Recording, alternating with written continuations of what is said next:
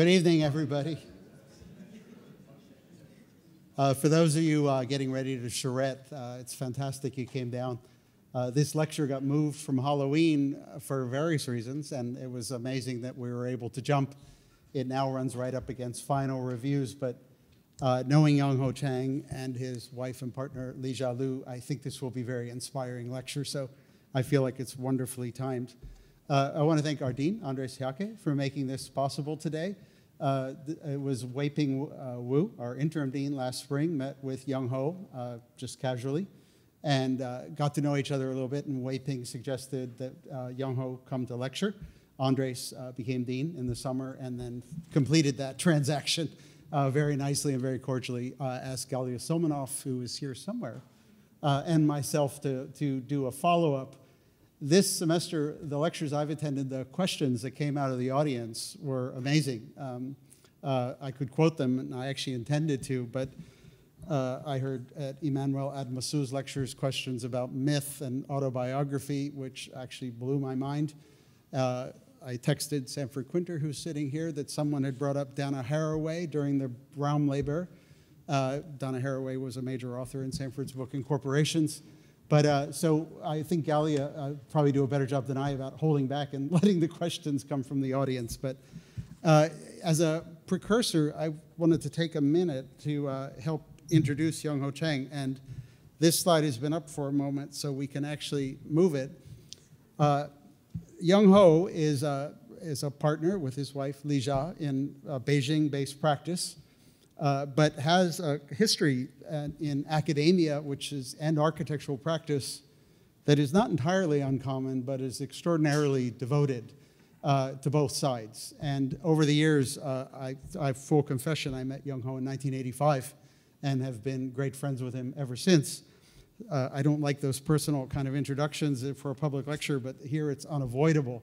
So, uh, but I can say that having known Yung Ho all those years, we continually circle back to try and understand the influences on us collectively, uh, he and I together, Li Jia, but also just on having spent so much time in architecture schools with the aspiration of practice.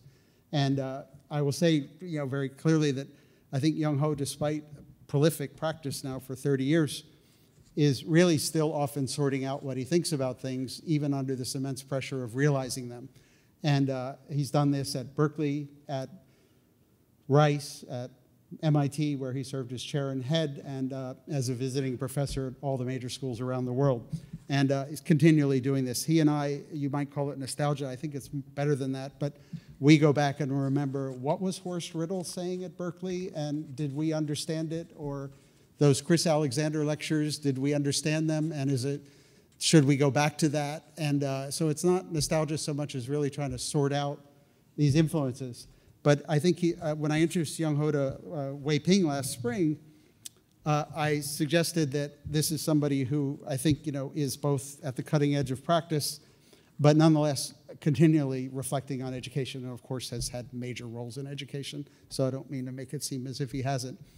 The Yung Ho I know, uh, I feel cliche to do this, but he did a project when he was fresh out of school based on Alfred Hitchcock's Rear Window. And I was there. I, I saw the project happen. And um, that model is a picture today in his, uh, on his bookcase in Manhattan. Uh, but one thing about the film, aside from the fact that it's architectural and ocular and perspectival and full of drama and it, it's high art and it's also popular media, all of these things are really in Yung Ho's lexicon uh, to go from post-structuralism to comedy. Um, Hitchcock is, in some cases, shows up, and in this one picture here, he shows up in the film. And aside from the fact that it's Hitchcock and Yung Ho has specific interest in that, uh, I've often felt that what really made him timely and continues to make him timely, tonight hopefully we get into the new things, was that he was reflecting on being in and out of the scene.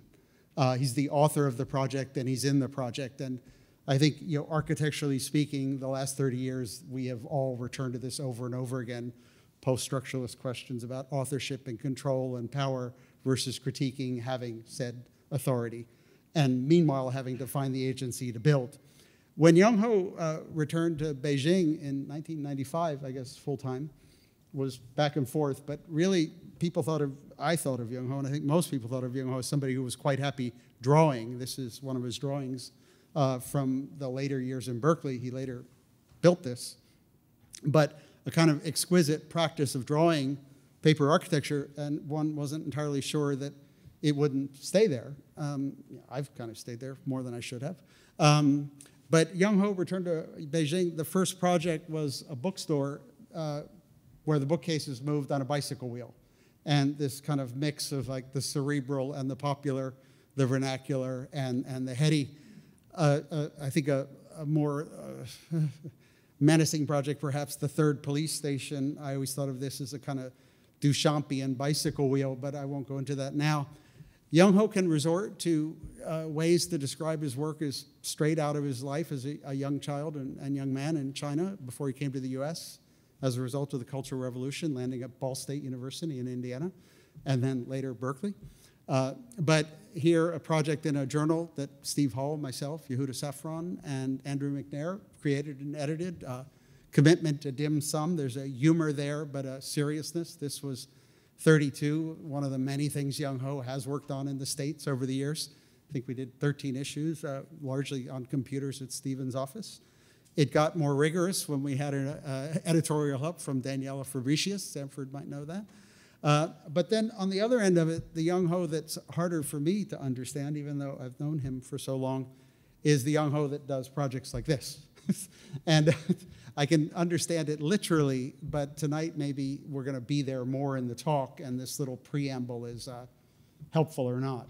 But uh, this is this is not one building by Yung Ho, but many. He did all of them. so and uh, Li Jia, I'm sure. Uh, knowing Li Jia, I think that's probably very much Li Jia making that happen.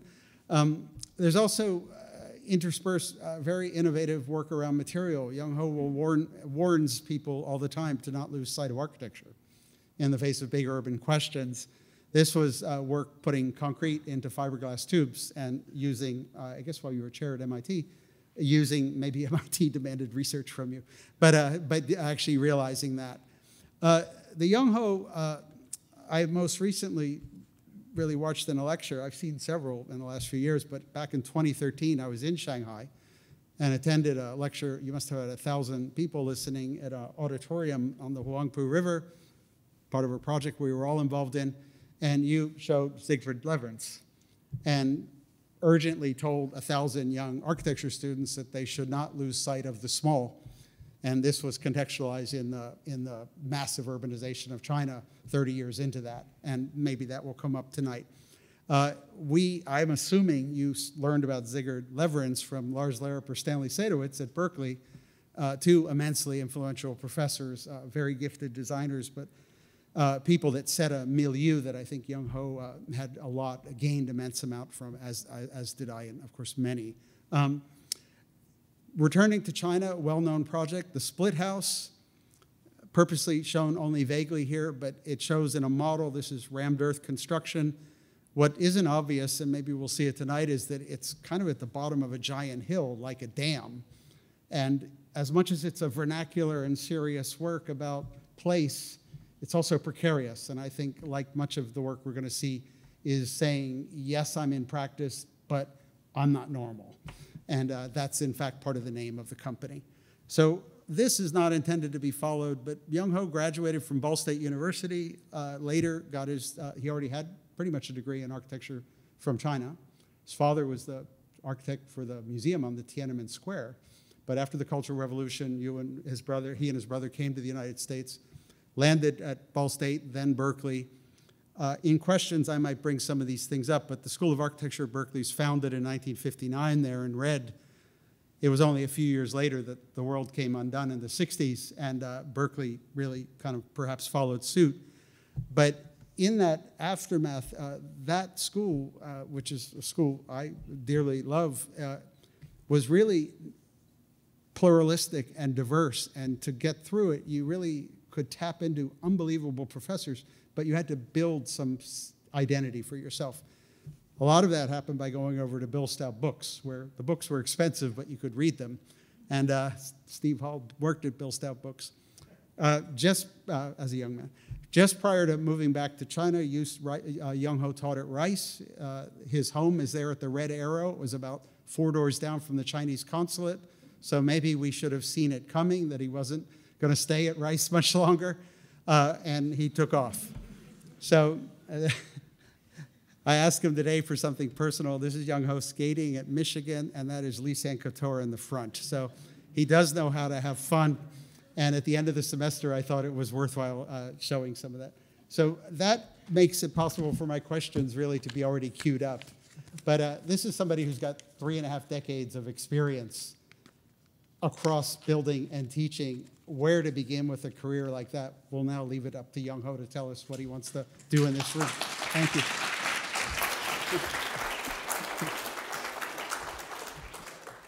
Well, thank you uh, so much, Michael. Now that uh, you did the lecture, maybe I should introduce you. But anyway, uh, I'll have some slides and uh, I'll pick up the conversation you started uh, um, and, and, and then maybe uh, evolve into a discussion of something I, I, am really uh, um, focusing on today. Anyway, so you see a, a peculiar graphic design that, oh, what should I use to click? Yeah, that uh, on, on, the keyboard. Okay, yeah. So what do you see here uh, is not for, uh, for today. I thought I wanted to, to show you because that would make a point. if we did a lecture, uh, on the uh, original date, which is a Halloween night, of course. But the point I like to make is that, so what you see here is not form follows function, but rather the other way around, is function or rather content follows form, which is something I'll, I'll talk shortly. And then, of course, we are back to normal, so you see the title again. so, what, where I like to start, I already mentioned, is this very important slogan suggested um, by the American architect Louis Sullivan. However, today I would ask this question. Let me show you why that question is relevant perhaps even important. So, um, first of all, I like to uh, uh, define the word form because I'm not only using the definition of form as what you'll find in Oxford English Dictionary, which is figure, um, shape, appearance, and also could be a structure, system, and organization. I'm defining it according to the traditional Chinese poem, which is discipline. There's a one word we use in Chinese is lü. Literally, it means discipline. So what it means is that it's a set of rules you set up for a poem to be poem. So here you see, so there are four lines, of course, and each line has five characters. And then beyond that, the pitch of every single character, there are four of them, is dictated. You can't pick a word with the wrong pitch. And then it rhymes. So I'm going to read it in Chinese just for uh, giving you a little flavor how it sounds. So, 文性才为良，相毛结为羽。不知动理云，去作人间语。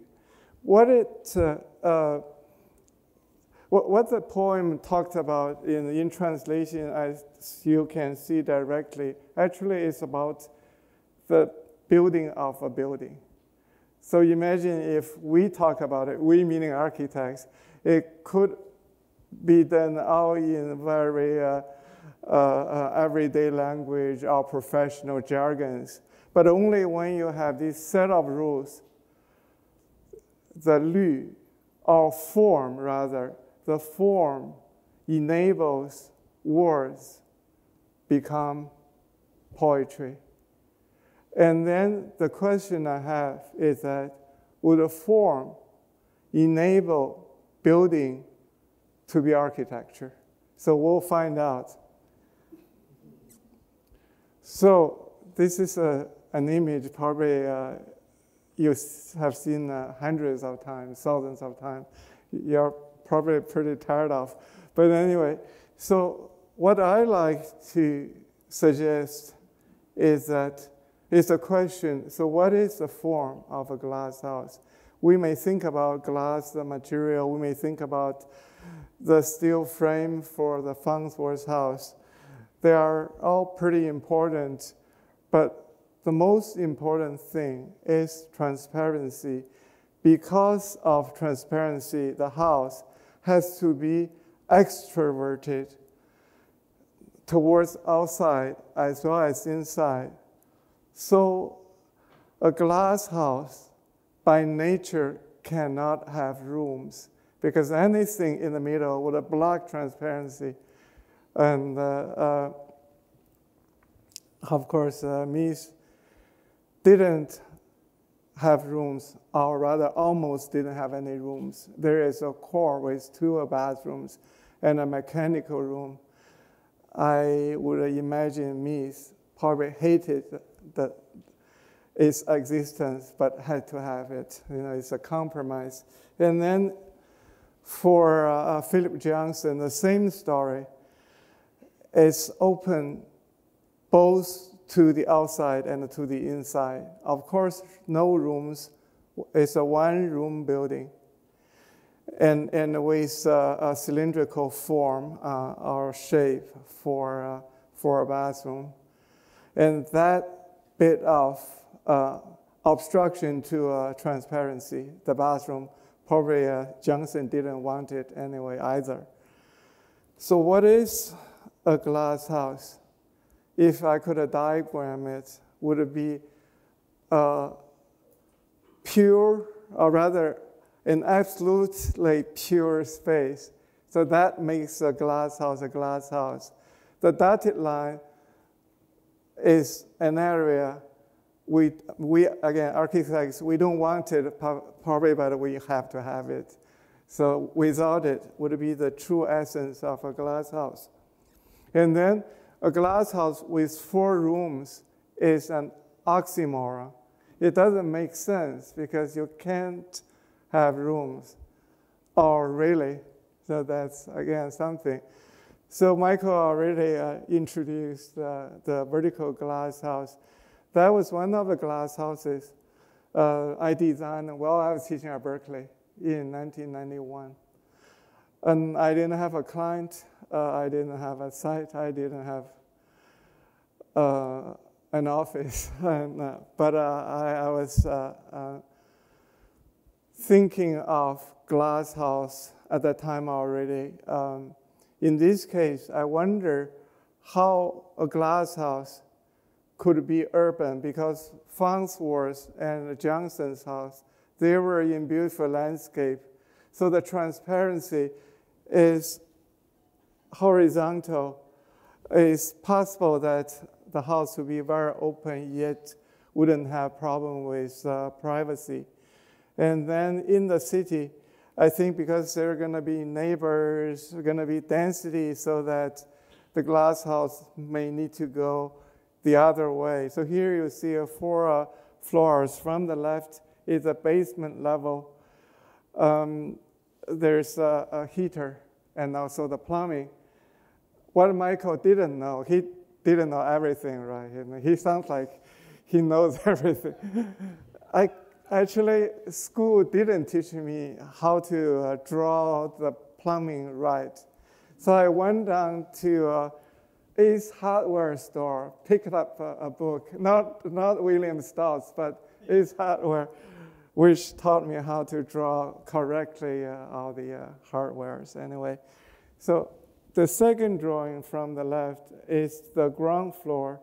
So you enter from that floor, and then that's where you get the facilities such as the bathtub and toilet and so on. And further moving up is the floor with furniture. And then on the top level It's a double high space where a person could uh, meditate and so on. So it's the, uh, the, the, more uh, spiritual space in the house. That was in 1991. And then uh, you saw that drawing. What's interesting was that I didn't realize actually I was putting rooms inside the house, of course, vertically. So the basement is one room, and then there's a bathroom, there's a furniture room, and there is an empty room. So it's a glass house with rooms. And it looks like this from the outside, and then the inside. So, who's a client? I imagined a third century Chinese poet and thinker, um, his name is Liu Ling, to be my client. The reason was that he was so poor that when he came home every time, he would take off the only clothes he had, a robe, and put it on side to stay naked. And then he famously said when he had a visitor uh, questioned his uh, nudity, and he said, The sky and the earth is my house, and then this piece of architecture is my clothes. So why should I wear anything? Uh, so very philosophical. And then um, our uh, photographer, he was really inspired by the story. Then so he posed naked here uh, both figures are, are a photographer. And then you'll see him uh, later on in all of our projects, naked, of course. and then, of course, I'm challenging the oxymoron. Why can't a glass house have rooms? Could it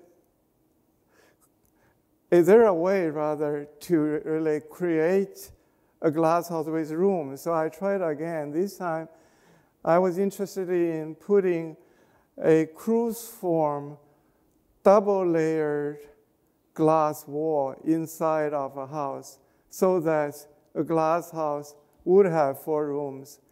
This is the initial drawings uh, I, I, made again in 91. I don't draw like this anymore. I, I don't have time is very time consuming. Maybe that's just an excuse.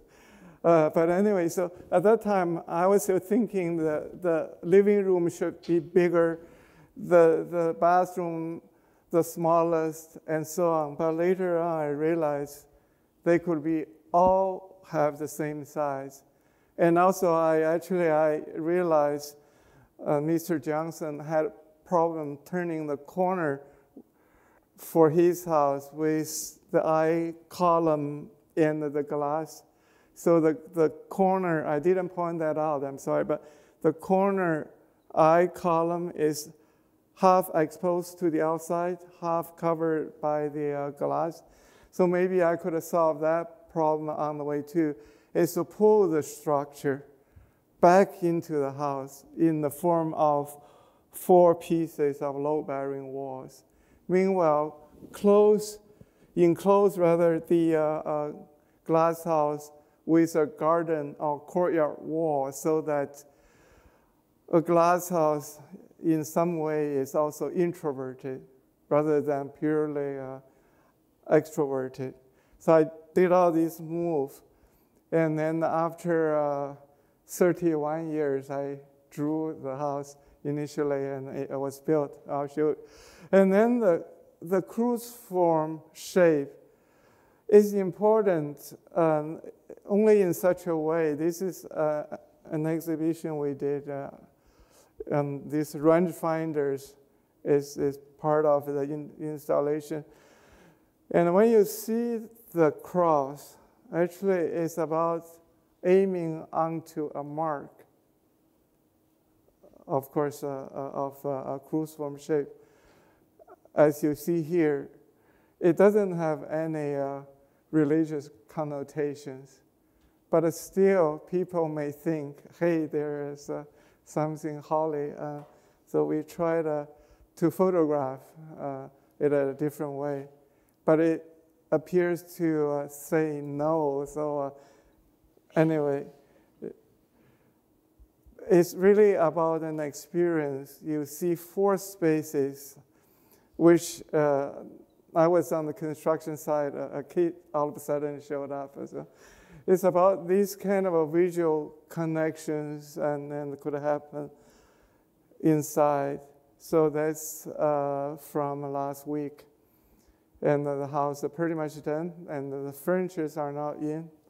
And then so you can see uh, uh, the four uh, rooms. They're of the same shape, of course, uh, size.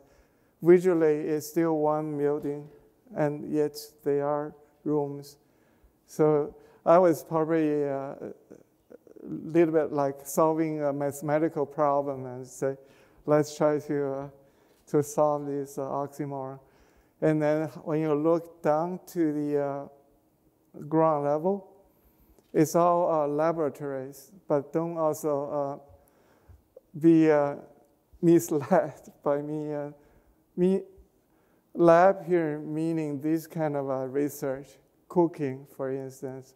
So it's uh, a, a, lab for, for, for making food. And then here you see the load-bearing wall is pushed in so that you can see a perfect glass corner. And then here uh, you, you see uh, again the uh, bathroom. For privacy, uh, we decided to have curtains. So when needed, you can close uh, the bathroom up. And that's the outside. Um, the glass house is on top level. Again, the laboratories downstairs. And then on the right is a staircase to go up to the house, uh, to the, the, the residential part. So anyway, what's interesting for me is that after all this effort to imagine this quarter space and so on, and, and uh, I, actually I did do a diagram, which is totally unnecessary because that diagram existed since at least the beginning of 19th century. is waiting for some architects to really uh, use it. So from the, the first column from the, the left, the fourth one is right there. And then, of course, uh, you'll probably find uh, uh Mr. John Hejduk's uh, favorite uh, diagram is up there too with a diff- oh, it's the second row, uh, the third one, uh, uh, the second one from the top. So anyway, so in fact, from that period, of course, this is in France. So this diagram got a different name, which is parti. They are not meant to be anything stylistic, but rather like the form of the Chinese poetry it's a set of rules you can take, you can select and use. You don't need to reinvent the wheel. That's uh, some kind of uh, uh, intelligence, often that uh, today we, uh, we, uh, um, we forget. We like to think that we could start a design from nothing. It's sort of a, a mental tabula rasa. But actually, there's so much there uh, already uh, we could uh, explore and take advantage. So I'm going to talk about one I used before I knew the drawing. So now I'm smarter. I can go into the drawing and look around. It's the second one. Uh, I'm sorry, the, the first one on the second row. I called that one uh, triptych. Triptych is a box with drawing inside. Now, in the church, you, you open up like that. So uh, it's something like this. So I actually, uh, you, you're gonna uh, see uh, two uh, versions. One is later, but it got built earlier. So there's uh, um, analytical set of plans, which is an exploration of what this triptych plan may do. And we ended up building the one uh, on, the, uh, on the right, the, the, the lowest one on the right. And then by doing so, it's not only a formal gesture for the sake of doing it, but rather to keep the trees in, in its uh, uh, place. And then, of course, creating a courtyard. And Michael mentioned something, uh, uh, maybe I should explain. So he saw the house as a dam because the water would run down the, uh, um, the slope, of course, and then passing through the house. I, I made the, the glass in the entry lobby transparent so that actually you can even see the water going through the house. So conceptually, it is very much like a dam. And then, of course, this is the older version, and now is finishing up the triptych house for a scholar. So I had a two uh, imagined client. It's not very interesting. It's, it's a scholar uh, and, and a visual artist. Uh, probably the roles I, I uh, or rather uh, the, the people I admire very much. So here you work on one side, which is on the right hand side. I'm sorry, uh, on the uh, left hand side for you. And then on the right hand side is where you live. And then in the middle, uh, this is from the outside. So in the middle is a court. And then there are two inverted porches on the ground level so that actually there is a hidden cross in this case. So you see one space, which is the court in the middle, um, with, with uh, of course, a little island in the middle, goes one direction, and perpendicularly, and then you see the porches making the cross that way. So anyway, the building in the back, I'm sorry that uh, you don't see the entirety of it. It's actually a beautiful art museum by Alvaro Siza, the dark building. So, and this is uh, downstairs, uh, again, a kitchen. And then you go upstairs and you into the living room. And then, of course, you have to go down and cross the courtyard to go into a very uh, classic or even classical library. It's dark with uh, eventually a lot of books. So I, the idea is that the life of the scholar uh, gets uh, reorganized a little bit. And then you need to experience outdoor and you, you need to really um, compare uh, the differences of these two spaces, which structures the daily life of a scholar. And then the third one is for a visual artist. Uh, it's the one with something uh, poking out on the wall. That's the end of a beam. So this is the, the beam house, you may say. And then you see the beam comes in and goes through the entire studio. And then uh, uh, this is uh, in the studio. And then actually the beam is walkable. So one can walk on top of the beam to look at her work or his work, be it sculpture or a big painting on the wall. So, like that. And then look out onto the landscape. And then uh, on one side of this, uh, again, uh, uh cruciform uh, beam, uh, where you stand is where the staircase is. And then you cross the entire length of the beam to reach your little study. And then you, if you take the staircase and then you go upstairs, there is a terrace.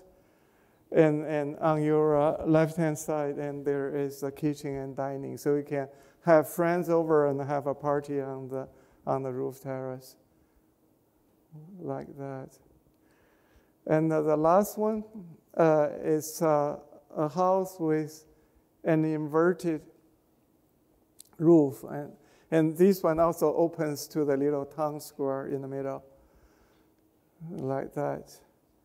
So basically, you see uh, um, a studio site, and then on the other side, there is a, a mezzanine, which is the living, living quarters. So basically, the beam or the roof, they started again to suggest a different ways of living. So in the end, it's not so much having an idea of how to live and then you design this particular space or this piece of architecture. Rather, you have the idea of the space, of the architecture first, and then started to imagine how to really live there and, work there. And then you see uh, our dear photographer again. And this is, uh, through that door, uh, by the way, uh, right, right there. You go in. I, I bet he probably actually took a shower. Uh, but anyway. So, four partis you know, from the uh, aerial photo, you can, you can tell and then four pieces of architecture, four different ways of living. So form follows function or function follows form. It's still a, a, a question, and however, let me take you one step further. Um, it's a different notion. So let's say nobody follows anyone, but rather could form creates content. Still uh, doing uh, diagrams of partis. Um, this one, again, back to a quarter square. However, I turn the cross in the middle 45 degrees, cut out the central portion of the space.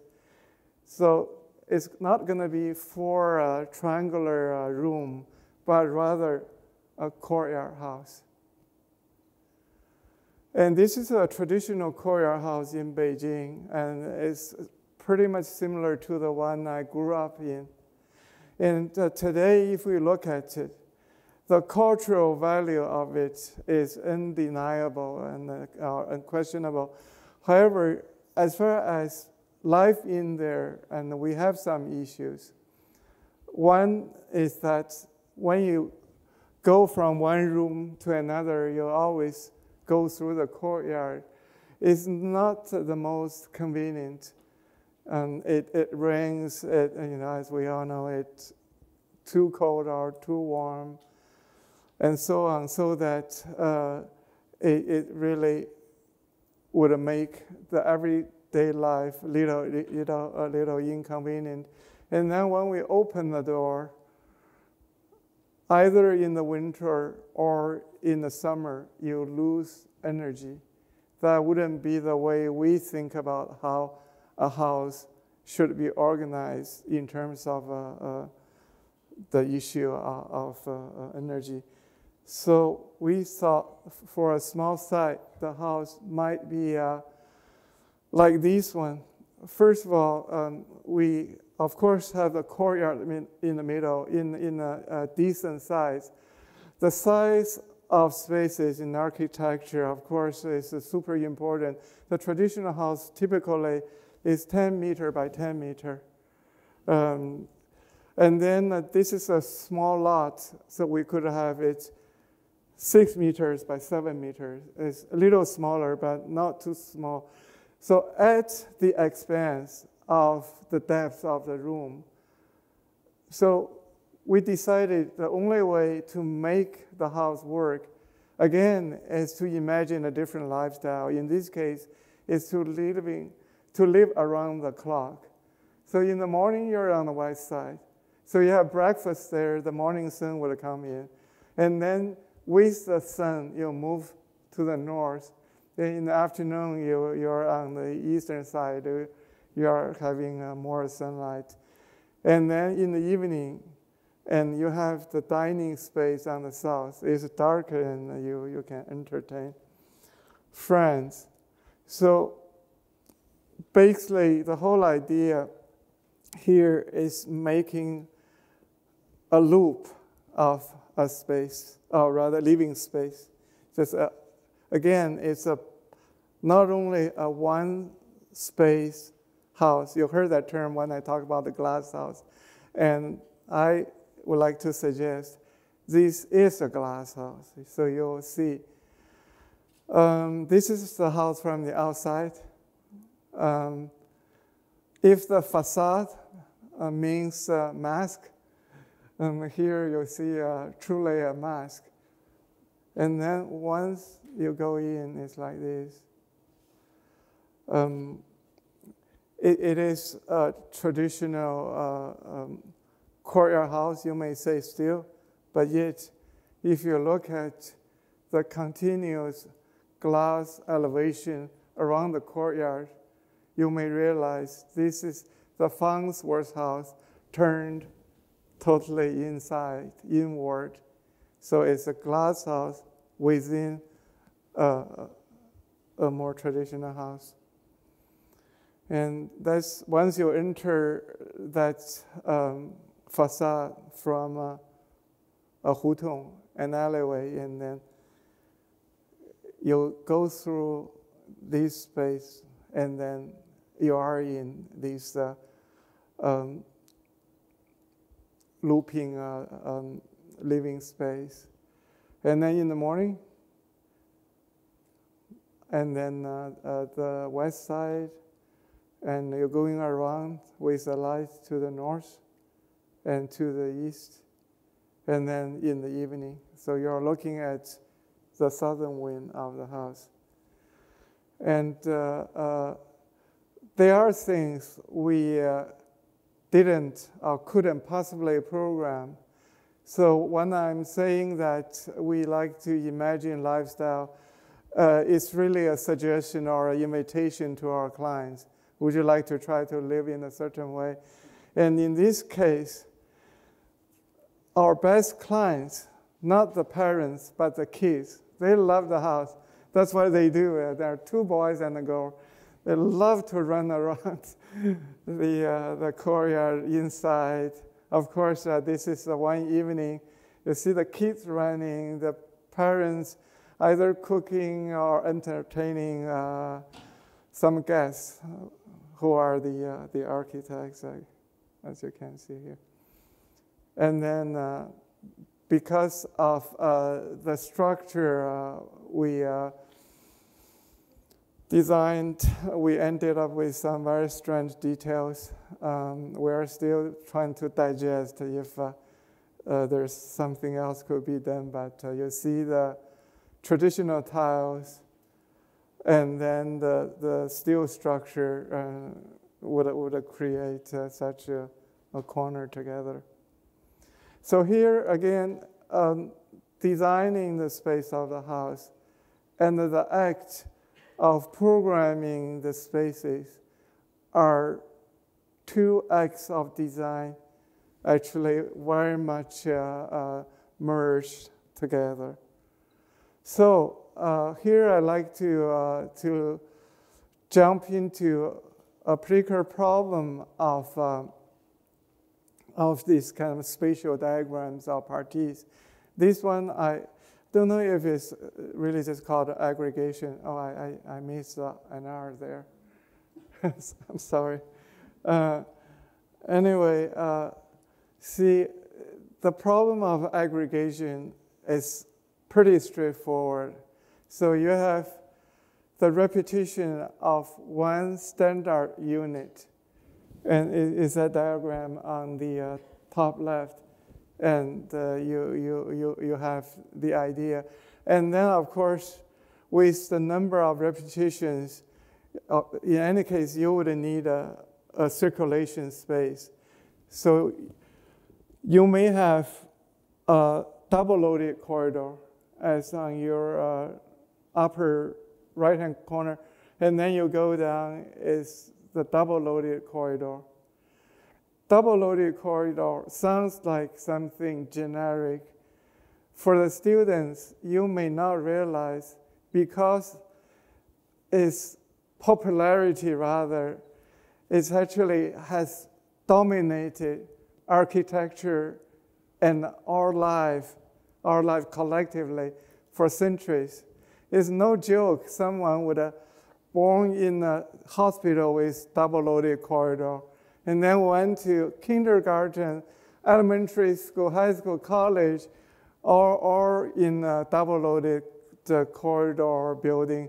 And then you end up working in an office during the day in a double loaded corridor building and went home for a double loaded corridor apartment. It's, it's a sad life. um, so uh, we, uh, for years now, it's not easy. It's not easy. We, uh, we put up a fight uh, with, with, this particular uh, parti, if I may say. And then I personally had the, uh, the really the luck um, to experience maybe the best double loaded corridor building in the world, which is in Trieste, Italy, is the center uh, for pure uh, uh, theoretical uh, physics. And in the uh, department for mathematics is this diagram, the lower left one. So the rooms are tiny for the, for the mathematicians, probably no bigger than, than the lantern. Yet the, the corridor became this huge open public space. So there are cafe, there are ping pong table, there are all the things. So I think the idea is very powerful. When you have this tiny little personal space, you have to be in the public space. And, and then, of course, subverted altogether uh, the notion of a double loaded corridor. So we, uh, the project I'd like to show is the uh, Maison de la Chine, the China house in Paris. Uh, we won the competition. Um, and then I gave you a little bit of history. So about 100 years ago, 1920, so it's, it's 102 years ago, the Parisian government wanted to create uh, some places for students to live. Otherwise, as you know, the left bank, there's only universities and research institutions and so on. There's, there's, uh, you have to rent like any uh, person in Paris, actually compete with them to get a, a place to live. So, and then again, the Parisian government invited all countries in the world to build a dormitory for, uh, for their students and other students. The deal is that you build the building, you give to uh, Paris as a gift, and uh, you can have 70% of the rooms for the students from your own country and 30 from uh, all over and from uh, France, even from Paris. And then, so our side is, over uh, on the uh, right, right, upper right hand corner.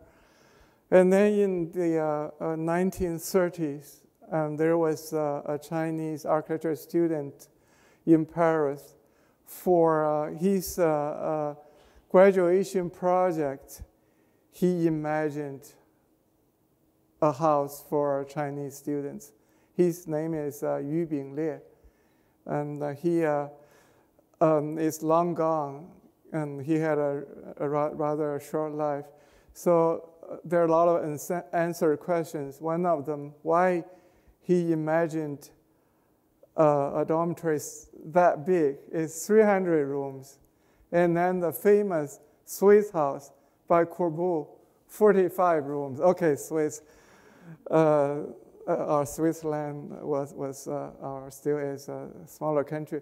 But anyway, it's interesting that he organized possibly, uh, well, it's probably not very interesting. So For me, the problem is the double loaded corridor, you can imagine in, in this building. And then, uh, meanwhile, Corbu did single loaded corridor so that not only in the rooms there's going to be sunlight and view, even in the corridor there's light, air, and view. Because Corbu's concern is very contemporary. He was thinking of the health of the residents. So I thought maybe we should uh, really take on that, that uh, clue, which is uh, you know, a healthy life for, for, for the students. And then uh, this is again is single loaded corridor, but made literally into a loop. So put those two, uh, put Corbu and uh, it's called uh, Earth Building Tulou in Chinese together. So I, I did a, a sketch like that. And that kind of a strange shape actually is, uh, oh, okay, that's a photo of uh, the model. And then it's, it's from the site. Because actually in the original site, that whole area you see were the, uh, for sports facilities. There's uh, a soccer field and, and basketball course and so on. And then in order to be able to accommodate more countries, they actually pushed the sports field up and then created three lots. And then there's a new uh, Tunisian uh, pavilion next to the Chinese pavilion and a Francophone uh, pavilion, altogether three new buildings. So it's kind of a difficult shape really to, uh, to accommodate uh, the building. Interestingly, what we got from our client is a number of rooms, 300. So after all these years, so uh, we we back to uh, 300 rooms. And then uh, what, what you can see is that uh, it got to be, a, because it's a single loaded corridor, it got to be a little taller building, eight stories. But we created a garden uh, in the middle. So when uh, the people move around, in this case, it, it, it's around this uh, garden. And, and then uh, everyone, all the students would look out. And then, were we happy with the single loaded corridor? Not exactly, because the repetition would, uh, would uh, make a building uh, not as lively, perhaps. It, it's a, a simple, uh, formal uh, problem. So we decided to use uh, the exterior wall to create a, a rhythm. So it looks like this. That's like a week ago we were on the uh, construction site. And then meanwhile, we had to uh, give identity to, uh, or rather cultural identity to this building.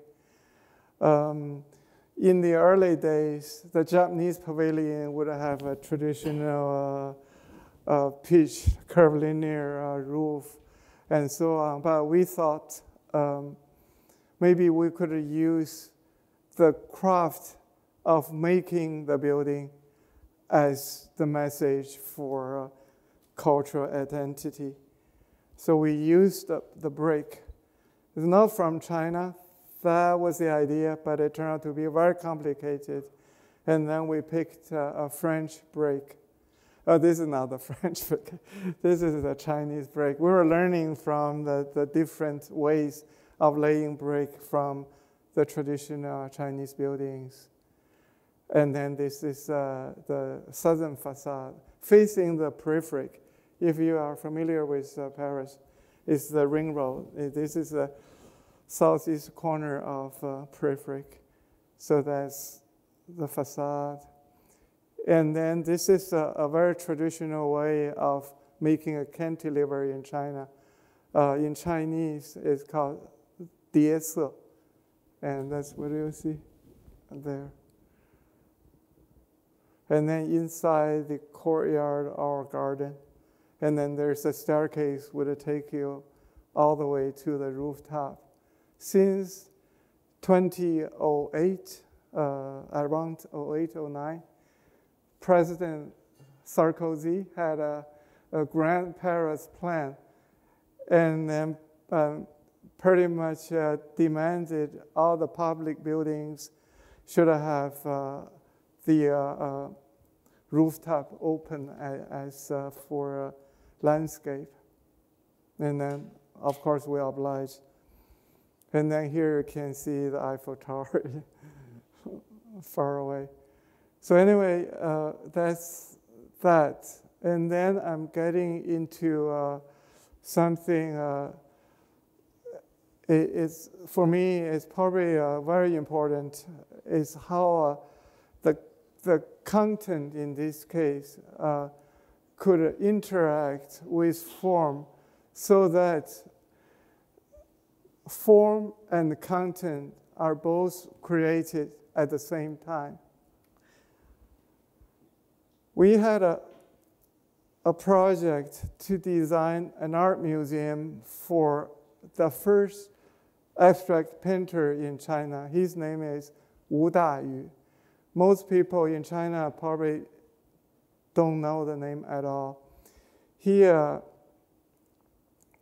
since 1950s, he uh, lost his job as a teacher, as a professor.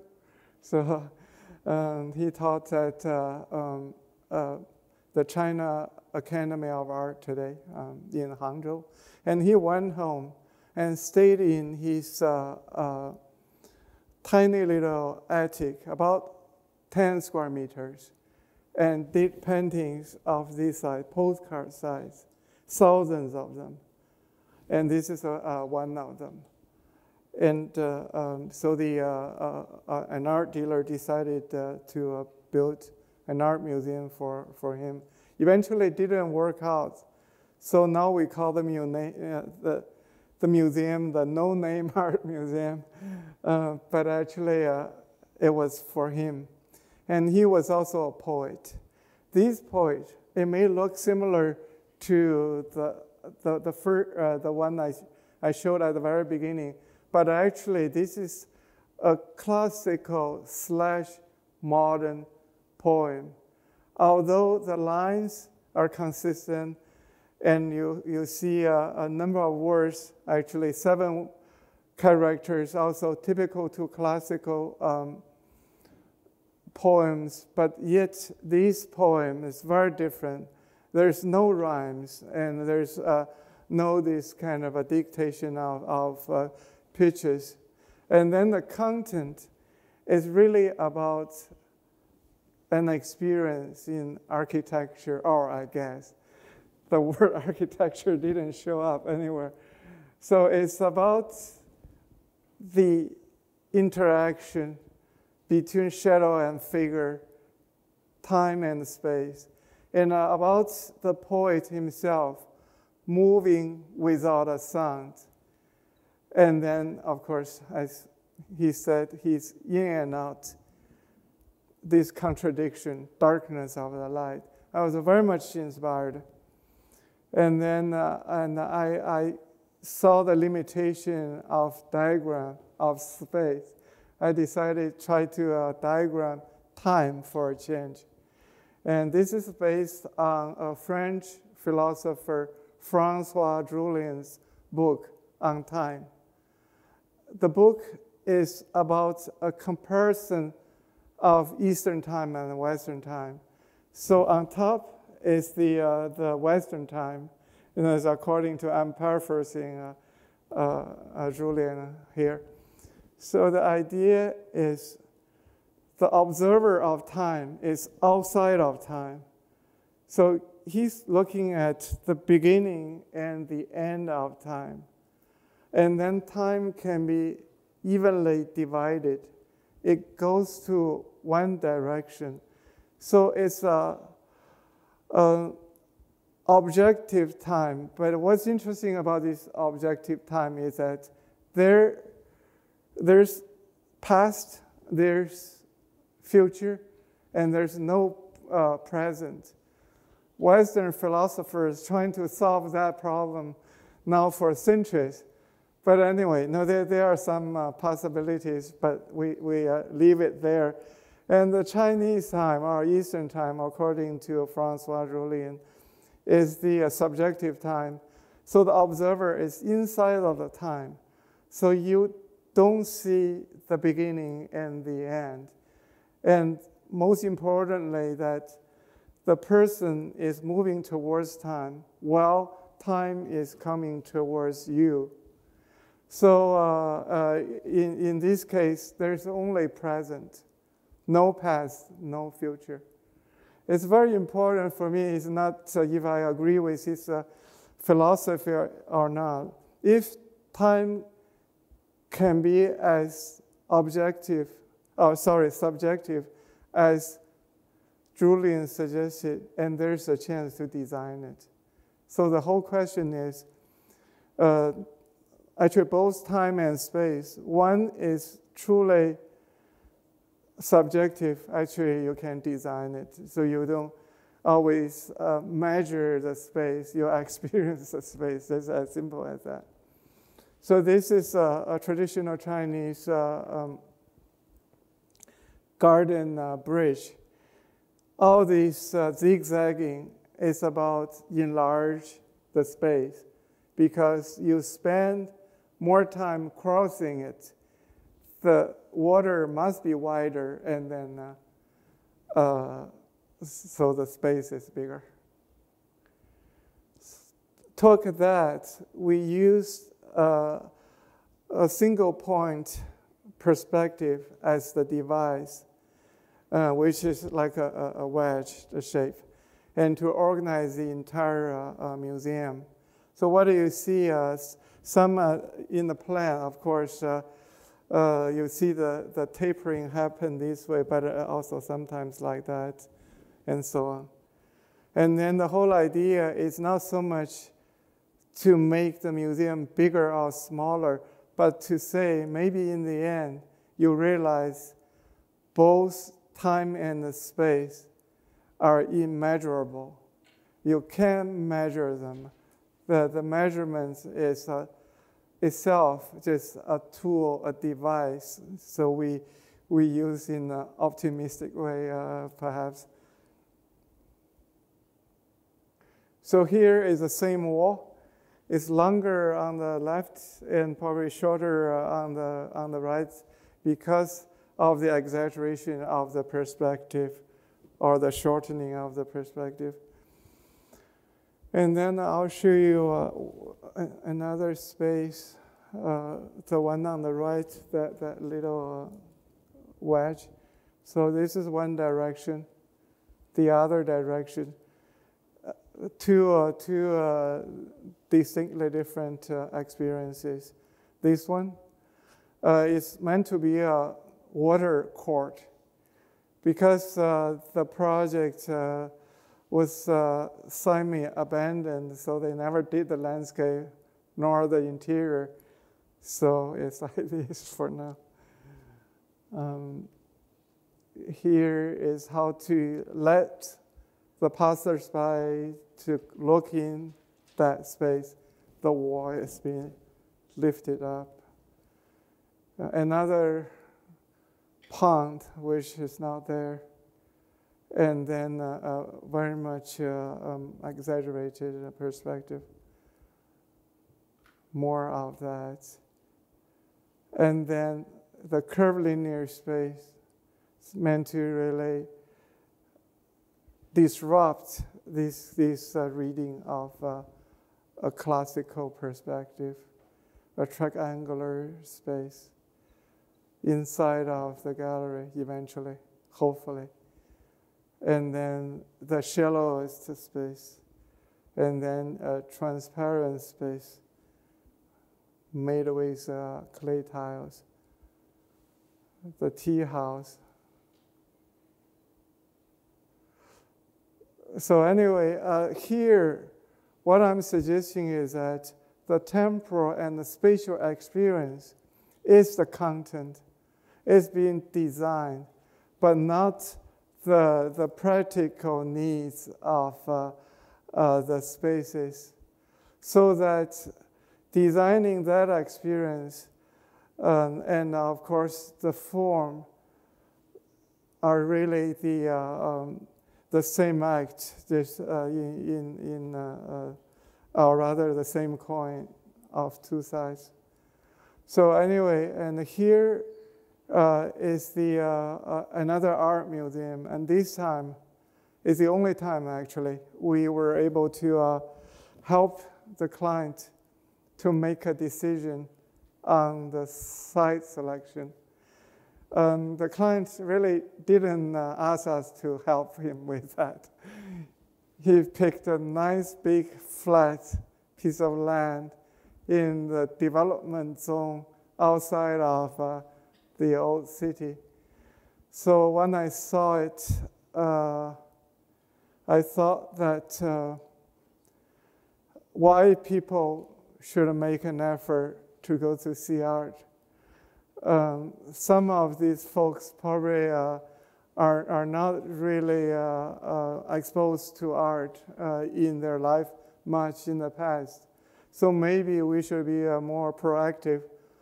Let's bring the art into the city to near where the population is. And then uh, the client bought the idea. So in the center of the old city is a river. So our building, our museum should be a bridge. And then can see the bridge allow the cultural facility to connect the fabric on both sides of the river. And this is the traditional covered bridge in China. The virtue of a covered bridge is very different from a, uh, an open air bridge. It's place people would go there, to older people to go there to meet with friends and play chess, and maybe the kids will go there uh, and do something. So there are vendors in these bridges sell little snacks and so on. So it's like a, a salon, like really a, a linear uh, square. So we liked very much that idea. And then uh, we reintroduce it here. Here you see the bridge uh, as the architectural design goes. Uh, on the bottom, uh, there's a steel bridge because the material actually was, was recommended by the Water Bureau uh, still would allow the maximum amount of flood water to go through. And the members of the steel would also cut the, the tree branches and so on to, to uh, really make the, the, the flood not an issue. So the lowest point of the building already is above the 50 year water mark, uh, flood mark. So anyway, so on the top is a concrete bridge and with a painting gallery inside. Between the two bridges is a, great exhibition hall. It's like mostly three uh, spaces in, in this bridge or building. Uh, so it looks like this. You see the steel bridge for pedestrians and then the art museum on top. And this is uh, the uh, uh, pedestrian bridge so when people uh, pass through it, and eventually, actually, I'll show you, people can, can stay if you want, and, and also can go up to the museum. So the question we had was that, what if people still don't go to the art museum? Is there any way uh, to uh, bring art closer? So what we decided to do is to have two uh, huge skylights on the floor of the art museum. So if you look up, you see something uh, you like, and then maybe next time you would go into the uh, art museum. So that's that. Some folks on the bridge, the big exhibition hall, exhibition, painting gallery, empty and full. And then uh, there are two uh, entrances to the art museum because it's a bridge. One side, the other side. and then go in from one side. There's a elevation difference. So staircase to take you into the painting gallery and then come back down from the staircase like that. So that's that. So that was about selecting the site first because of the site was suggested by the architects. We also help the client to imagine how to program the bridge. Becomes a mixed-use bridge, passing of the bridge and then uh, going into the art museum. Here is uh, the last project I'd like to present. It's again a fairly rare. It's getting less rare now, but that was the first time the client invited us to participate in programming the building in a particular way. Basically, the question the president of this art university, China Academy of Art in Hangzhou, he uh, said to the three uh, finalists for the design competition, he said, you all architects who, uh, who teach on the side, could you uh, help us to uh, imagine the uh, educational system of this campus? And that's what I did. So I couldn't um, help but to put uh, you know, my experience teaching here in the US and some also in China, but also it's about my experience teaching architecture. So I made a number of suggestions here uh, with this, uh, uh again, a big diagram. So hands-on experience is very important for all students, not because you are studying art, even if you're studying something else, to use hands and the brain together, I thought was very important. And not to say that I learned that that's the model of uh, MIT, actually. it's man's uh, madness. But anyway, uh, so in the early years, the first two years, so that becomes something important. And then what you learn. So you learn the typical drawing, that's fine. And maybe programming uh, with using your computer, also important. But every student should learn architecture. Is architecture is part of the general education at this campus. So I was fantasizing because who knows if we're going to win or lose the competition. So, you know, I may as well. So, uh, anyway, and then for the upper years, it's all about structuring the learning and teaching of courses around research topics. And then because it's so much about making not only uh, just uh, uh reading or, or writing, the students should live upstairs of the studio so they can come down in the middle of the night to work on their projects and go up to take a nap whenever they want. And then within the uh, um, dormitories, students can organize hobby clubs by themselves as courses because they may realize a course they're interested in but not offered by the school, and then they would uh, uh, somehow uh, organize and, and, and uh, make it into a course and earn, earn credits as well, so on and so forth.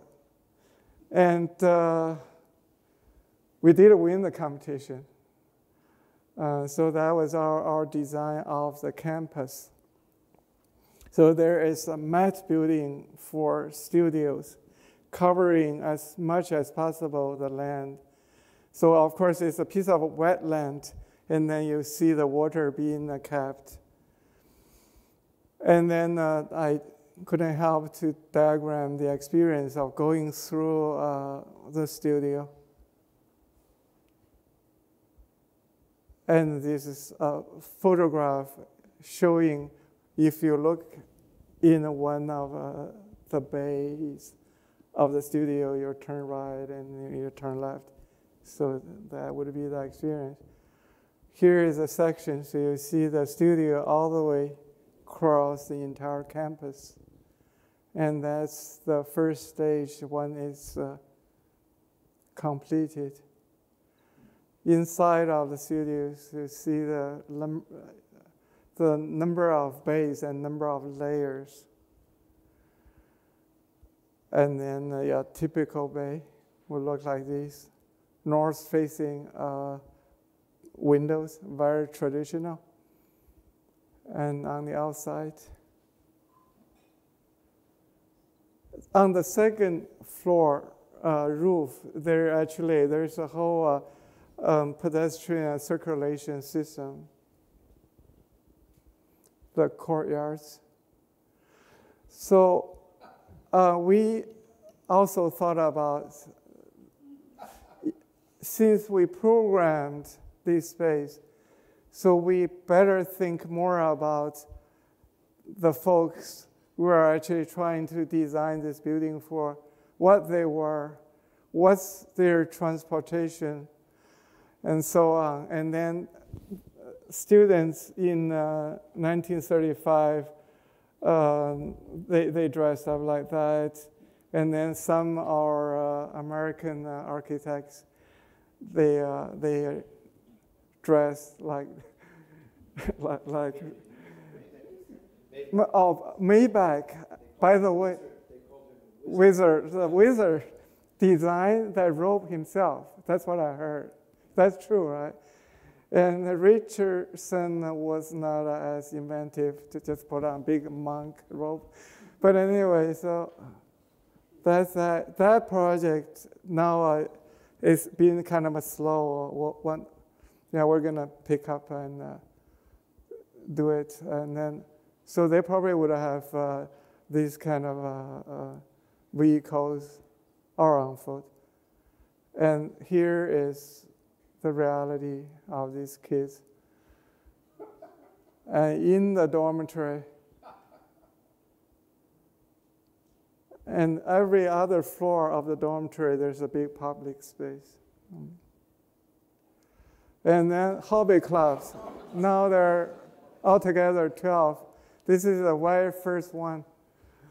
yes, the archery uh, club.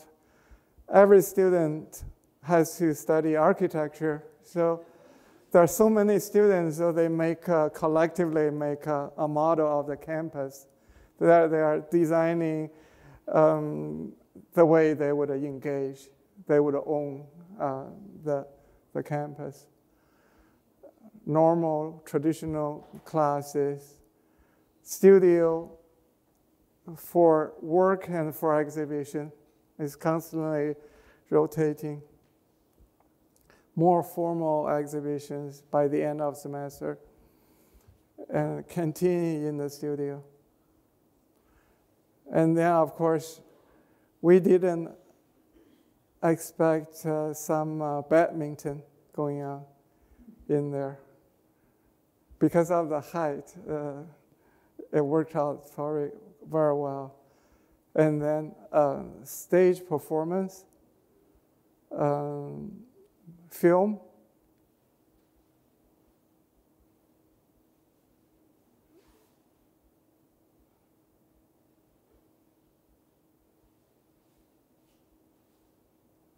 And then on the outside of the studios, and they are places for people, again, to have life. They may take a, a cigarette and uh, uh, or, or, just uh, um, look at their um, iPhones and so on. So, so between the outside and the inside, not only there is a, a semi-covered space, but rather uh, places again for some people events to unfold.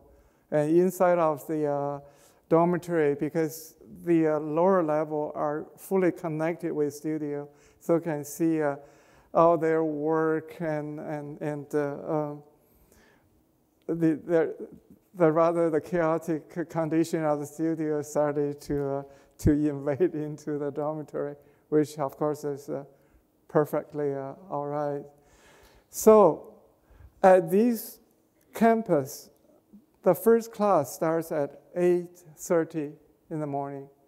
So students now get up at 8.15. And they just like go downstairs, that's it. And uh, what about, well, what about a few things, but what about breakfast?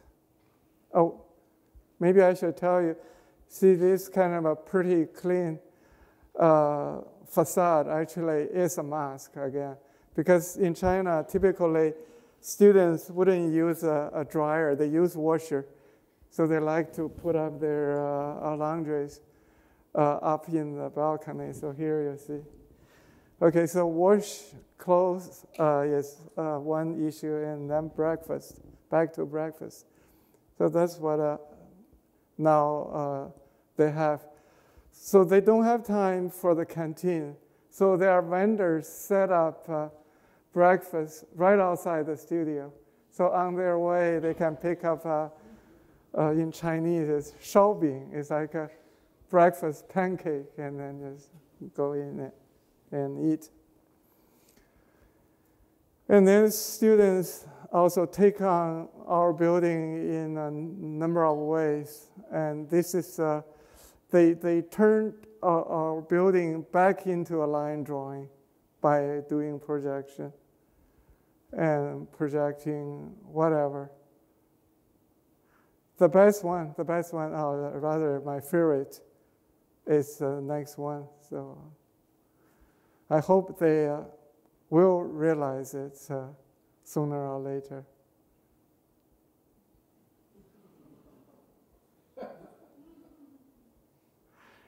I guess um, I'm suggesting that when you do architecture a certain way, you may help them to uh, open up uh, uh, to, to uh, some possibilities. So now uh, the uh, second stage is in full swing, should be then next year before September for sure. And then back to uh, the beginning of the talk. So, what about parti? What about form and content and so on? Um, it's uh, an ongoing uh, investigation. So, this building here, we started with uh, the structure. So, it's sort of like paper fan shape. Um, actually, because I do a lot of uh, really uh, um, boxy, uh, rectangular, square buildings, and then my partner uh, really uh, doesn't like the idea, and uh, she suggested we, we be a little more adventurous. So I, I obliged. And now for the, the spatial organization here, it is rather maybe I shouldn't say organization, it's a disorganization of the space. So basically, we, we turn the building in such a way that there are three connected spaces looking out in different directions. So what is the program for this space? From the name, you will get an idea. This building is called Faculty Student Activity Center. So they don't, our clients don't have a clue yet how to use it. Um, and then with this university, also you may want to know that uh, we used only half of the typical uh, budget of uh, a campus in China. It's 4,000 RMB per square meter. Uh, why so low? Because uh, the university, uh, when they budgeted the project, they, they made a mistake. They couldn't change. So we had to uh, work with it. So anyway, so here you can see the possibility maybe for a new space. It was somehow uh, uh, may, may, may be dictated by the, the structure, and then it would also lead to a new program. So the connection of the two projects and the content and form at this moment uh, is where it is. Thank you.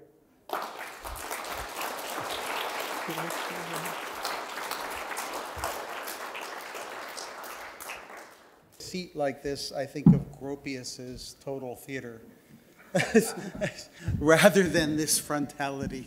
Um, thank you. Uh, Can we jump right in? Oh, yeah, yes. Okay, Thank you very much. okay. Yeah, was it Um, too long? It probably was. Uh-huh. It was too long. No, it wasn't. I was too long. Um, it was perfect. Um, Stefan, uh, who is one of the associate deans here, who administers events, was encouraging me to make sure we left enough time. So there isn't that much time. I, maybe I'll ask one question and hand it over, and then quickly get to the audience. Uh, there's so many people here who know Yung Ho and Li Jia, but also, like I say, the student questions have been amazing. Um, Yung Ho, I, I'm trying to figure out how to you're very disarming, and I say that as a, both like a, somebody who just, first time I've heard you give a full lecture at GSAPP. I think it's the first time you've ever done that. You've been on panels here before, but he's never uh, had the room like this before, and I'm thinking of some of the lectures this semester have been like that. They're kind of old-fashioned, frankly, in an era of panels more than full-blown lectures. Uh, So you've had time to kind of build something up there. Um, as a friend and, and colleague, you are disarming in the sense that you often seem to be having so much fun and delight that it's, it's hard to then want to kind of go back to the critique side. But earlier today, uh, while I was e- texting Yung Ho and asking, is this accurate? I reminded, uh, asked, I said, you did read Roland Barthes carefully, right? And, uh, and uh, I'm assuming, Death of the Author, people in the room probably don't know this work, but but you wrote back saying, yes, yes, absolutely, and it was a big influence. So I don't need to bring up Roland Barthes to do this, but as you progress through this today, the, I don't know what the audience saw, um, but the, I was thinking you go through form and content, and you take us back to like elemental aspects of being in school and show us they're not so elemental at all. You mentioned, at one point, you said, if we work this out, we might have a chance to design something. You didn't mean professionally. You meant that there might be enough intellectual work done or insight or creativity that there's something new to do. Like you earn this possibility to do something. And you often disaggregated that from the client. You, in fact, said, I imagine the client, even when you had a real client. And uh, when I was young, somebody told me Mies's client was philosophy, and I went, whoa. so, but you reminded me of that today. But when you got to the part where you decided you were designing the time and the space, and the one passage was, uh, the building doesn't effectively know the person is there, they don't make a sound or a trace. Hmm. And at that point, you're describing Eastern and Western time. I'm thinking of Sanford, who spent so much time trying to take us there at Rice. But without me acting like a scholar of those issues, even though I, I care about them, what was on my mind often was, is there a point and where you really move into abstraction? and I'm thinking quite literally, Alfred Barr in the show at MoMA that I think inaugurated MoMA, he described Malevich as more ca- abstract than Kandinsky. Yes. And Frank Stella will say, well, Kandinsky is more abstract, and he literally says it. Kandinsky is more abstract than Cezanne, and he shows you why. Mm-hmm. So in your case, when the students drew on your building there, yeah. and sort of, they were sort of re-abstracting it back, but not to sound critical, they, they gave us a good view of the very thick concrete floor. Right. So, so is Li Jia also demanding that your floors get thinner or that your building can get more abstract? I also kept thinking of Giacometti, the Palace at 3 a.m., that Yeah. you're putting a yeah. person into the building Yeah. and you're trying to get the building in effect to disappear, but you're also demanding that the syntax and structure of the building be dealt with. I mean, this is like an old-fashioned conversation, but I think he kind of demanded. I, am old-fashioned. Well, you're, yeah, but you're building modern China, so you're, you're hardly old-fashioned. So, yeah, For your question, uh, but uh, abstraction is the big question. Yeah, yes, yes. And uh, that's it's, it, uh, yeah. For me, it's an important uh, question.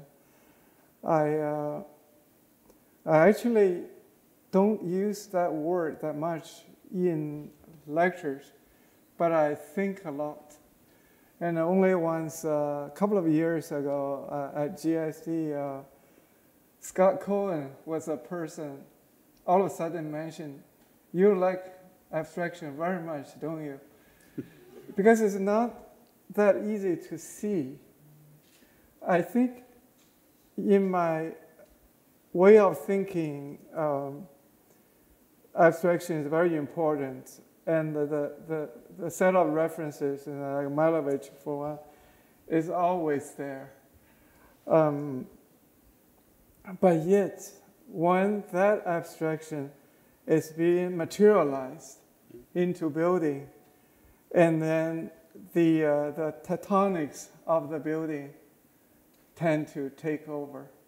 So it makes me think that uh, it's not so much a white box would make an abstract building, but a well thought out, a clean kind of a uh, set of uh, uh, relationships of a building may, maybe at this point for me would, uh, would uh, be the expression of, of uh, abstraction. I, I, am not making much sense. No, but the, the, just to add a fragment and then really give it maybe to Galia and the audience is you also, I've always believed, but I see it more tonight, you spend a lot of time producing a quasi theorem before you act. Hmm.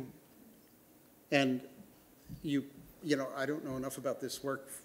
It's a long time ago, and I was an architect, not a linguist. But the the degree to which you know there was Noam Chomsky and, yeah. and uh, George Lakoff at Berkeley, like all the work on not denying the presence of syntax, yet at the same time, of course, wanting to cause it to evaporate at times. That's where I'm going. And I feel as if you are kind of triggering this, I was thinking of the Hejduk essay, Out of Time and Into Space uh, from the 80s.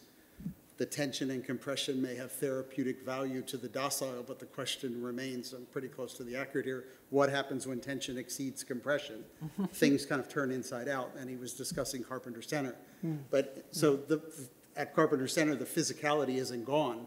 The tension and compression he was describing as effectively kind of coming undone and flipping inside out. Anyway, I don't mean to take you through references that have come from a different era, but my question would be, and this is not the right moment to do it, this, this insistence on the facts of architecture and then the role of the theorem, the imagination, and the exceeding of the limits. That was, that was really there. And that moment of, I think, heading into saying you're designing the time and the space, no longer the form and the content. That's where I felt like you were heading. Okay. But, um, but um, well, it was an amazing le lecture. Thank you so much. A lot of very interesting and revealing moments of uh, your architecture and your life. And so uh, my question is, at, um, there are some students in, in the audience, and they probably have some of the questions that you had at some point. And what I'd like you to tell us is, there was a moment where you were in the United States and you decided to go back to China and establish your firm. And you call your firm Atelier. And so would you um, tell us, I know that time comes at us rather than we go through time. So I, I am uh, of, your, of the thought that, um, that we are always in the present. Uh, but can you tell us that moment where you made a decision to um, to take one bifurcation on your life. Um, tell us a bit about that. All right. Uh, actually, it's very easy, but uh, it's, it's, it's, a pretty long story. Uh, so what happened was that, um, you know, I said some of the buildings I showed today were designed in 1991. And I was at Berkeley. I wanted to have a, a tenure track job. I didn't get it. So I was wondering what's going to happen next. Um, but back in my mind, I wanted to do one thing because after already eight years of doing paper architecture, I wanted to build. To build. But I don't know. Uh, there's no way for me to have a client in the US, it seemed that way. And then uh, uh, Li Jia and I, we were traveling in Europe on, on a scholarship. And uh, um, as for all the practical reasons, we ended up back in Beijing in spring uh, 1993 for Chinese New Year. And then a friend of a relative of Li Jia came in and just to say hi. And uh, he didn't really know what we do anyway, and he asked, and then we told him we're architects. And he said immediately, hey, you can uh, design a building. and then we got our first project. It's in uh, uh, the city of Shantou. It was called uh, an entertainment center, which was a casino, actually. um, so it, what I'm telling you is that it's not entirely uh, you know, accidental. We started uh, the practice we wanted to build, but it's quite incidental the way we started. And then uh, uh, we did a series of projects. None of them got built or went very far. And then I went to Houston to join Michael to teach at Rice, Sanford and Sanford Lindy. Lindy. So anyway, and then after three years going back and forth between Houston and, and Beijing, uh, we decided to practice full time. Uh, Fantastic. That was a more serious, more informed uh, uh, decision. So I guess the question behind your question is that we would uh, really do it if we know uh, how hard it was. The answer probably is no. It was so hard. Uh, if if we knew it was that hard, I'm probably just gonna stay in the U.S teach more or what. So, but anyway, and then whenever we wanted to give up, there's a little progress being made, little hope popped up and so on, and we just kept it going. Fantastic. It's, to, to, uh, yeah, it's not a question. To, in tonight's lectures, as much as I've known you a long time, it's the first time I f- saw, in a way, the theorizing or the theorems and the working it out in the head from Duran, for example. And Right. when you said, and Hejduk did this one, I was thinking quarter house, half house, three quarter. But I, I made the connection, assuming you might. Without that time, not building, it seems to me part of the way you have survived the intensity of building is by in fact being able to hold the values in, as part of your imagination. And you said that over and over tonight. Yeah. I imagined, I imagined, I imagined. Right, And uh, right. That, that to me was quite remarkable. No, So- I, I appreciate the, the 80 years. I, I just, if I didn't get the opportunity, I would, I would go on somehow. But uh, I already was anxious. Yeah, that period of time, Massimo Scolari and like Raimund Abraham and so many people who deeply valued working with an imagined proposition, which we know Wood. is Lebbeus Woods and, uh, yes, exactly. So uh, I hope we haven't killed the enthusiasm of your questions. Uh, There's a hand. uh, There's, uh, Um, thank you, Professor Chang. It's an amazing lecture. I, we, I believe we're all very inspired. I have one question. Um, I can see that in a lot of the projects that you proposed, it kind of have a minimum um, definition of utilization, so that allows for the reinterpretation and redefinition of your space that fall, that function follows the form. So how do you imagine the potential or intention of um, kind of having a urban or a more massive scale of that adapt adaptation when maybe the buildings or architecture has has to have more um, definition of the usage? Th- That's actually a very interesting question, and we uh, we uh, will put it this way. First of all, so I, I talked about today that form may not follow function, or it could be the other way around, and so on. But what's interesting is that space and structure could be really an independent notion altogether. It doesn't really require uh, a content to begin with. So in the past, uh, when, when Sullivan had that slogan, he was referring specifically uh, to the new uh, modern uh, industrial buildings. The form follows function, and the production of something would follow the, the workshop space. It, it probably did. I, I don't think I, I would uh, say uh, Sullivan got it wrong. But those spaces, because they're just open base, like the Liangzhu Xiaoyuan, uh, the campus I showed, that they are open to other uses. So I think sometimes it's the space, sometimes the structure we design today should give the possibility of reuse a chance. So it doesn't matter what it is. So now a factory is turning into cultural facilities, housing, and so on and so forth. But it wasn't meant for that, but it is open big space. So typically today for housing, I believe that the, the, the housing units, the structural system is probably not the appropriate one because it makes the rooms are, are too uh, close and too small. So there's, that's a, another a big story. There's a Dutch guy.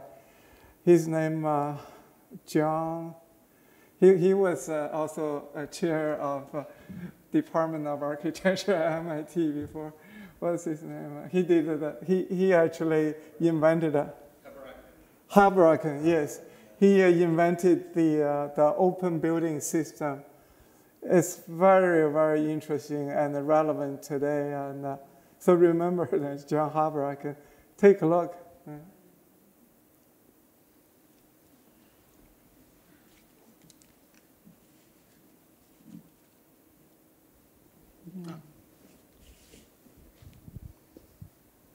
Hi, thank you for that um, presentation.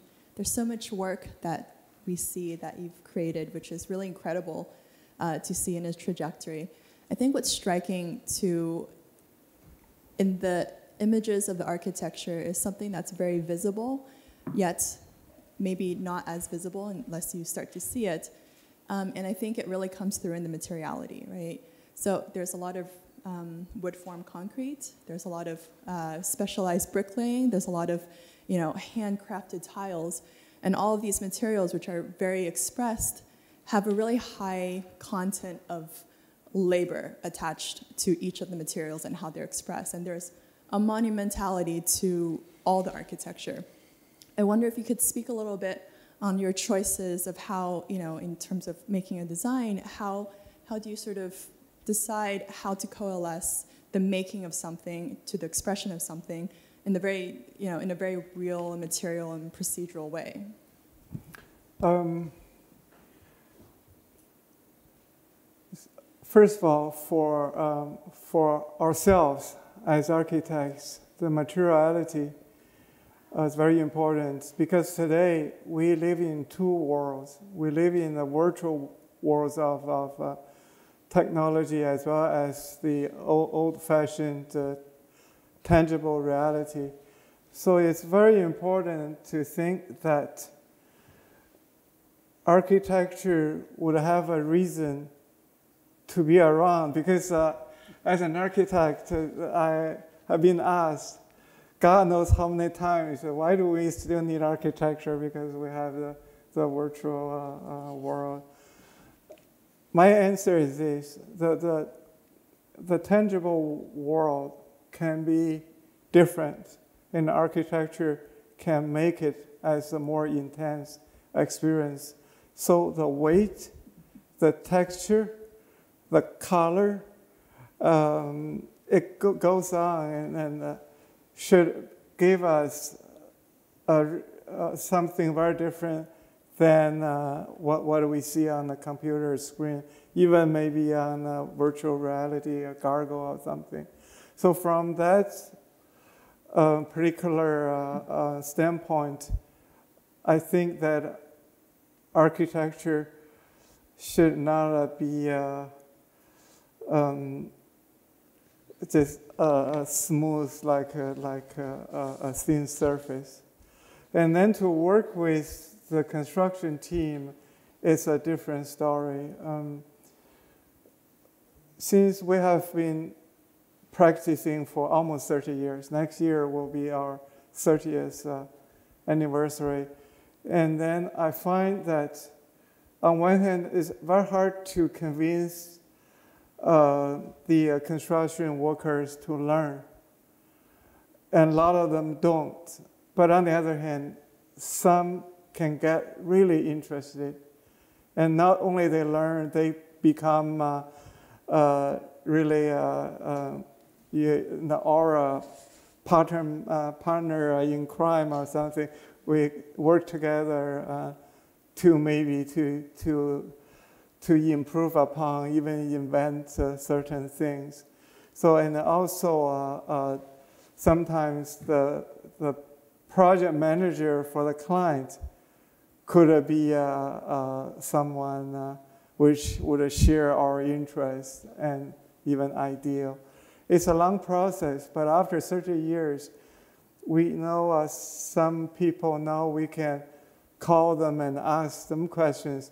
How can we pour the concrete in a certain way, and then maybe uh, questions about other materials and, and so on. You're working with the building institutes, though. Oh, they, they, they, they are terrible. You're on video. Okay. Okay.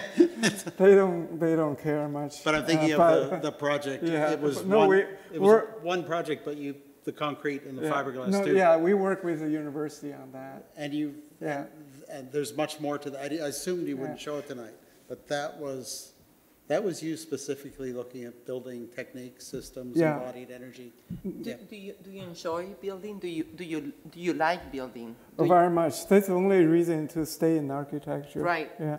When I go to a, a construction site, it's full of problems, Right, but I still. love it. Uh, yeah, exactly. I can tell, yeah, yeah. And uh, working in the office every day is not as uh, exciting, but to uh, go to the construction site, different story. Let, let me uh, want to say one thing. The design in institutes we need to collaborate with all the time. Yeah. They are the hardest souls to get them inspired or interested. I don't know why, because somehow they, they are like just ma- machines Yeah, to I don't mean produce to drawing. bring critique it. I, I Yeah. saw Steven's uh, linked hybrid drawings that preceded going to the Design Institute and came back, but But uh, we, maybe there's a conversation there. But I I think Yeah. Sanford Kwinter had a question. Yeah. um, So this is my second lecture uh, that I've seen of yours. The first one was like the first weeks that we arrived in uh, Texas together. And uh, what I found fascinating was just how similar some of the things are that I saw today, but also how long it took me before I realized that. So the question I want to ask you, Michael sent us off into a, a kind of a meditation on, um, on abstraction. But what strikes me so strongly in your work, and which blew me away when I first saw your presentation in 1991, is Hitchcock. And the rigor, like when you showed us the square uh, poem, the five by four um, characters, I realized that's what Hitchcock did in Rear Window. He set up a situation and he said, let's play it out. But what's fascinating about your work, and Michael invokes it when he talks about the humor, the joy, and also the perversity, is intimacy and, um, you know, and witnessing. And the idea of always uh, participating psychologically in places in, in the entire field. Like you're an eye, but somehow you're forced into an intimacy with other things. So I know you're fascinated by this stuff. Whether you speak about it or not, I don't know. After all these years, I don't know. But I think it would be great if you did tonight. So are you, su- are suggesting that uh, I'm not perverted enough? Perverse is different. Every time I use that word, people get angry. Perverse just means, you know, let's say dangerously playful. Uh, thank, thank you. But uh, the truth is, to make a presentation like tonight, you know, in a year, a little more, and try to uh, make sense of uh, not all of our work, of course, but uh, a great number of work together.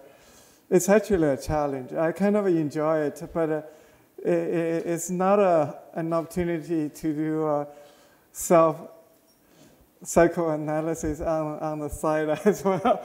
Maybe this my conservatism. Uh, uh, Yes, it is. uh, so anyway, so uh, Dan? and then, I have three brief questions. oh, okay. First one builds on that amazing question, because I saw that kind of uh, Hitchcock in the, in the subtext here. Hitchcock's, uh, one of his main uh, uh, tropes is the MacGuffin, which is the object uh, which everyone is looking for, which has no, no real importance, but sets the plot going. And I, I somehow feel that you're, you're, you find these MacGuffins and, and everything starts running on its own, but then you catch up with it. Second, that's the question about the MacGuffin. The second is form follows function was not invented by Sullivan. It was invented by Horatio Greenough in 1856. And I believe. not Wi- Viollet-le-Duc. uh, no, no, he's no? earlier. Greenough is a bit earlier. Oh, okay. If I'm not wrong, Ken, uh, maybe you'll correct me. Uh, and I believe, uh, uh, but I'm fascinated by the idea that you're inverting this. But Greenough is an interesting figure because he seems to be a sculptor originally, if my memory serves me. So, in a funny way, uh, form following function for him, function would be something about the aesthetic as well as the living and the. and so, there's something very interesting going back in the genealogy of that. And the third thing that was sort of haunting this, besides the Hitchcock and the reversal of form follows function, for me was Louis Kahn, because you mentioned the immeasurable. And uh, Louis Kahn said, we start with the immeasurable. We then, as architects, go to the measurable, and then we must get back to the immeasurable. That's what I feel about your work, even more than the reversal of the form function, and even more than the MacGuffin. What do you think? I think you're pretty much right. Thank you. Thank you. There's, See, uh, disarming, yeah, yeah. Right next to disarming, disarming. disar- and conservative. Hello, Professor Ch- Chang. Uh, give a little bit background, background about myself. I'm graduate students here from Columbia, and I come from China as well. And uh, my boyfriend and I now we currently we are uh, building uh, like seven floors, around 86 square meters, housing in Ho Chi Minh City right now. And sorry, I take a note. So like we are two young, like ambitious entrepreneurs, looking forward to build so many buildings that uh, offer to young people can uh, live in. We would like to build the affordable and small rooms offered to young people, such as college students or the people who just entered to the working place in Ho Chi Minh City, Vietnam. But we were struggling to find the samples. Like, do you have any uh, architecture's works examples that could recommend to us, uh, like based on our situations? Thank you. It's like it's too much. like yeah, it's just like I'm asking about like, do you have any um, work examples that could uh, re- recommend to us? Uh, we can, you know, we can mirror ourselves to build like um, affordable housing. In, Affor- yeah, yeah, in, in, yes, in Vietnam. Yeah. in Vietnam. I'm afraid I Thank you. know. You can talk on the side, but if, I gather you're also looking for support for enthusiasm, which, yeah, which he, he would be terrific at. and- Yes. Hi. H- Housing is, uh, is taught here uh, at Columbia. Yes, yes. So maybe you should take a course. It's a big subject, very important one. Yeah. Yeah. It was a founded by Kenneth and Richard Plunz. That's a, yeah, more like more like 40. okay. No. Kenneth is uh, Kenneth and Stephen know Yung Ho quite well. Uh, other quick, I think we have time for one or two more. One more.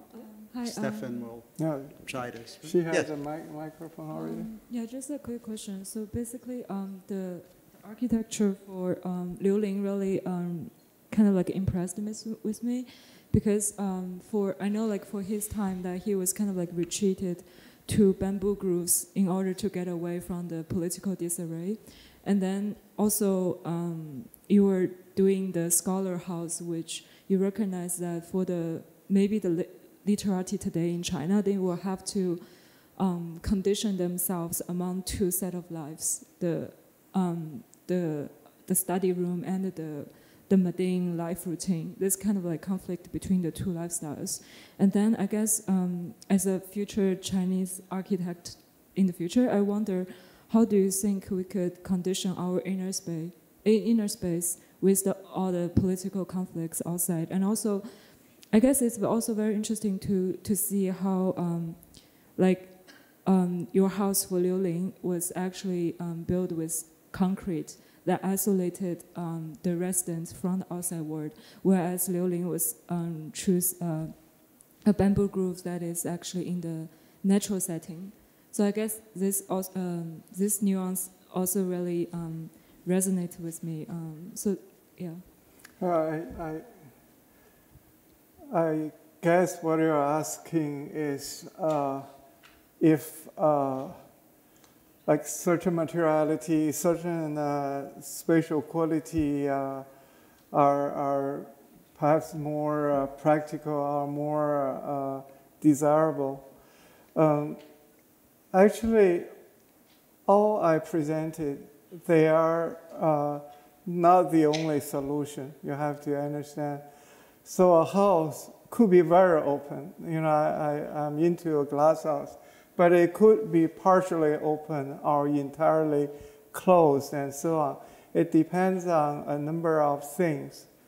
Uh, view is one of the criteria, and, and also could a, a, house open, again, like a vertical glass house, you know, upward, uh, and, and so on. For material, is is also about uh, uh, uh, choices. For instance, actually, I like to get back to concrete. So we have thought about doing less concrete buildings for years now, but since concrete is the most available, cheapest, uh, uh, and mature uh, technology, it's very hard not to use it. And then what do we do? So we tried the uh, fiberglass, uh, uh, stars a little bit, and, and, and a number of other things. Now we're doing and also engineered wood and so on. However, um, the world is changing pretty fast. This year, uh, it's about two, three months ago, um, not, uh, have you ever heard of uh, Nobel Prize? Not Nobel Prize. Nobel Prize is a prize given out by some uh, uh, institution in Denmark. This year, the winning, the, the prize is given to some young people who invented a way to uh, extract uh, carbon from the process of making cement. Now that's fantastic news. All the things we have accumulated for the past 30 years, how to make concrete better, we can use it again without much uh, guilt. So it doesn't mean that we're not going to try other stuff, but uh, concrete is back on, uh, on our list as a possibility. And so uh, um, I, I, I think don't, don't looking for, sorry for uh, both of you uh, up there, don't look for a singular answer. Right. And yeah, look around and, and you, you'll find something not only is good for the world in one way or another, and you truly actually are, are interested in. I don't think one could um, do something just for, for the, uh, the rightness of that thing, the correctness of that thing. You also have to, uh, to love it. Probably that actually goes first. You love it, and then you also do the right thing. That would be a lot better. So uh, I'm going to look towards our dean. Uh, We're over time. Should we, but should we, I- why don't we allow one more question? And uh, I know there's more than that, but, or- if there are, maybe there isn't another question. There we go. Yes. There's a, oh, yeah. Yung Ho is also in town and coming to some reviews, so you will be able to talk to him in the hallways. Thank you for the amazing lecture, and I will just ask a very short questions. So I saw you using Chinese poem and the metaphor of like the rhythm in a Chinese poem as to how to translate that into architecture. So my question is, in your perspective, how to create a rhythm in architecture and space? Thank you. Uh, how, how to create How to what? create rhythm in architecture and space? Because I saw you using Chinese poems and the rhythm of the poems as um, Oh, Rhythm? re- oh, oh. Uh, reason. Oh. Thank you, thank you. Um, first of all, I'd like to say, because I saw a lot of uh, uh, Asian faces here, um, I, I think today, every one of us is culturally a hybrid. Right. You have to, you have to accept that because otherwise you, you're going to go back to at least uh, 100 years to the 20th century, maybe even 19th century, because uh, uh, that's how we learn, how we uh, grow up, and, and how we end up. So there is no, uh, I think, a, a, a set way for you to say where to start a project. So for me, a lot of things uh, I'm interested in, but I know so little, I wouldn't dare to talk about here at Columbia in fear that uh, there are a lot of people who know a lot more than I do. Because uh, uh, one of the example uh, is uh, uh, Bach's music. It's fugue. I listen to, my wife and I, we listen to, to Bach, not every day, but at least every week.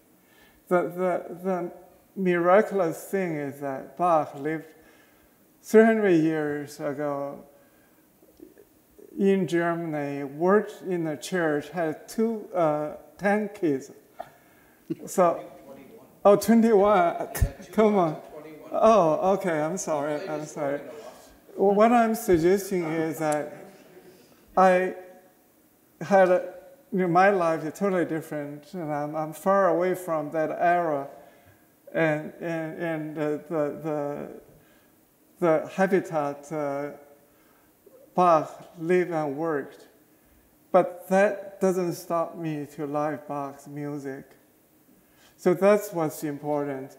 So that a particular poem, Wang Wei is a big, big poet in Tang Dynasty, as we all know.